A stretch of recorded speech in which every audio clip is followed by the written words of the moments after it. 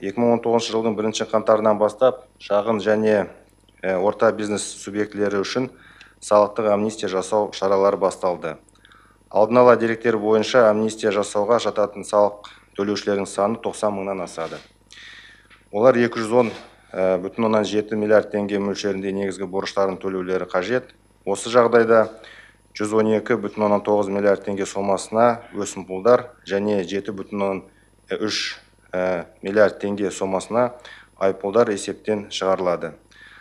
Ағымдағы жылдың бірінші сәуіріне отыз төрт мыңнан астам салық төлеуші жалпы сомасы жеті бүтін оннан алты миллиард теңгеге негізгі борыштарын өтеді.